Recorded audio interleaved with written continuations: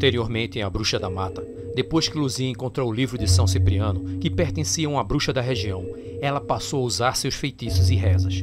Porém, ela acaba encontrando uma entidade demoníaca.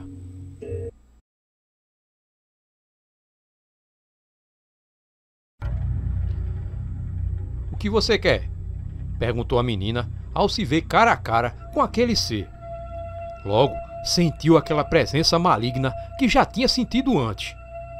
Não tinha dúvidas de que quem estava à sua frente era uma entidade poderosa. Você tem algo que me pertence, disse o ser com uma voz agoniante. Luzia deu um passo para trás na forma de espírito e olhou bem nos olhos daquela entidade. De repente, teve medo que aquele ser pudesse fazer algo a Jorge. Então, achou melhor sair dali. Correu na direção da mata. Mas não chegou aí muito longe e logo aquela criatura estava à sua frente de novo.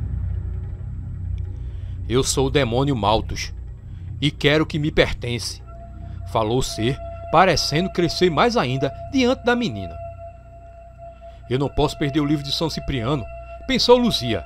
Nessa hora, ela prendeu a respiração e logo já estava de volta em seu quarto. Estava toda suada e com a respiração acelerada. Pela manhã, ela acordou cansada, como se tivesse feito muito esforço durante a noite. Mesmo assim, fez o café para o pai que ia trabalhar no roçado. Decidiu ler o livro de São Cipriano, pois queria procurar quem era o demônio Malthus. Não demorou para encontrar entre as páginas aquele ser. Ela leu que Malthus era mesmo um demônio, uma entidade poderosa que muitas vezes era invocado para realizar grandes feitos em batalhas. Também foi utilizado como guardião e protetor de magos, e muitas vezes auxiliava eles em seus feitos macabros. Malthus só podia ser trazido através de uma oferenda de alma. Ao ler aquilo, a menina se arrepiou. O que podia ela fazer contra uma entidade maligna milenar? Se perguntava ela. De tarde, naquele mesmo dia, Luzia disse ao pai que ia na casa de Elisângela para convidá-la para comemorar seu aniversário de 15 anos, que seria na sexta-feira. A verdade é que Elisângela era a única amiga dela. Luzia não se dava bem com as meninas da região.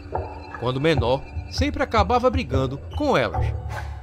A única que sempre esteve ao seu lado foi Elisângela. Ela também ia lhe contar sobre a visita de Jorge no dia anterior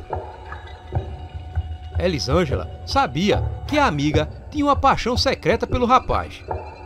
Ao chegar na casa dela, se encontrou com o padre Bernardo, que estava de visita na casa de Elisângela. Ao ver Luzia, ele parou por um segundo sério e depois sorriu.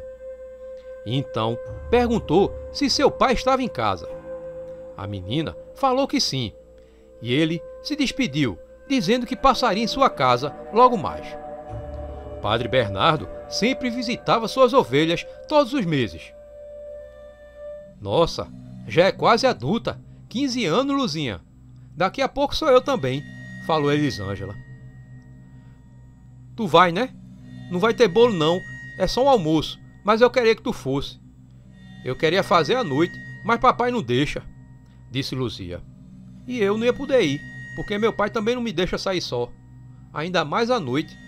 Só quando eu fizer 18 anos que eu vou poder sair de noite, por causa dessa bruxa, falou Elisângela.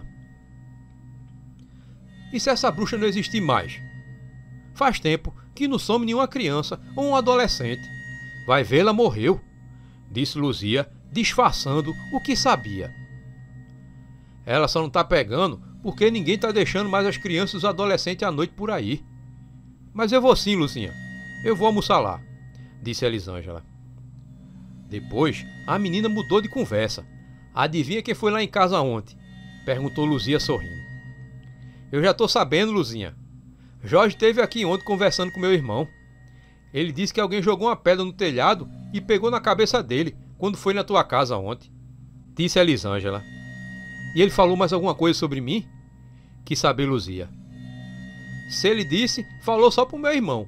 Não falou para mim não. Falou Elisângela. Luzia pensou em contar à amiga sobre as novidades que tinha descoberto a casa da bruxa e sobre o livro dela. Mas pensou melhor e decidiu não dizer nada. Emendou outro assunto sobre sua paixão por Jorge. Em seguida, voltou para casa. Voltava cedo, antes mesmo de começar a escurecer, pois não queria encontrar o demônio Maltes novamente. Ainda mais agora que sabia que ele era uma entidade poderosíssima. Assim que se aproximou de sua casa, ouviu passos atrás dela. E quando se virou, viu o menino que tinha visto no dia anterior atirando pedras em sua casa. Que é que tu quer comigo, menino? Tu é alguma alma penada que vaga pela mata? Perguntou Luzia com raiva. Eu não gosto de você, falou ele. Mas o que foi que eu te fiz? Disse Luzia. Eu não gosto de você, repetiu o menino, só que dessa vez gritando. Eu tenho o livro da bruxa e vou achar um feitiço para fazer você sumir e ir direto pro inferno de uma vez, disse Luzia com raiva. Nessa hora, o menino correu e sumiu na mata. Que coisa estranha! Nunca tinha visto aquele menino por aquelas bandas em sua vida. E por que ele dizia que odiava ela? Era isso que ela se perguntava. Eram as quatro horas da tarde quando Luzia chegou de volta em sua casa.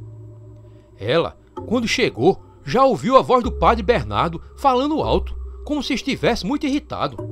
Do terreiro já dava para ouvir. Luzia estranhou aquilo, pois padre Bernardo sempre foi um homem tranquilo. O que será que o incomodava tanto? Se perguntou em silêncio e encostou perto da parede para ouvir. Ela vai voltar mais poderosa ainda. A gente tem que fazer algo antes que seja tarde, dizia a voz do padre.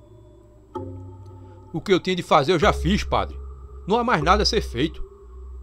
Ouviu Luzia a voz do seu pai falando irritado. A culpa vai ser toda sua. Se você não fizer algo, não ponha nem os pés na igreja de novo. Considere-se excomungado. Gritou o padre e saiu irritado. Luzia até deu um passo para trás para que ele não visse ela ali escondida. O que será que seu pai teria culpa se não fizesse? Queria saber a menina. Correu e já entrou falando com o pai, que tinha encontrado o padre muito irritado. Manuel, ainda com a mente longe, disse que não entendeu a pergunta da filha. Padre Bernardo passou por mim no caminho, papai, e parecia muito irritado, disse ela. Não é nada não, minha filha. Eu fiquei de levar umas verduras para a igreja essa semana e acabei me esquecendo, disse ele. Só por isso, papai? perguntou Luzia, sabendo que ele mentia. Manuel desconversou e mudou de assunto. Disse que era para ela esquecer isso, que era coisa de adulto e que era para se preocupar em matar o bode para comemorar os seus 15 anos, que ela faria naquela sexta-feira. Elisângela vai vir, papai, disse a menina, demonstrando estar feliz. Mas no fundo, a curiosidade dela só aumentava. Depois da janta, voltou ao livro de São Cipriano queria encontrar algo sobre poder ler a mente das pessoas para tentar saber qual era o segredo que seu pai e o padre conversavam. Folheou o livro e procurou até que encontrou. Havia um feitiço chamado Diga-me o que sabes, muito usado por magos para adivinhações, também útil para desvendar sonhos. Esse feitiço permitia perguntar a uma pessoa que está dormindo qualquer coisa e ela lhe responder com toda sinceridade. Mas para fazer aquele feitiço, ela teria de realizar um ritual. Era necessário matar um animal de médio porte, que podia ser um carneiro, um bode ou até mesmo um bezerro ou um cão grande. Depois, devia se banhar em seu sangue à meia-noite. Em seguida, repetir as palavras cabalísticas que estavam no livro. Luzia sorriu não sabia como, mas iria fazer aquele ritual. Queria descobrir que segredos seu pai e o padre Bernardo escondiam tanto.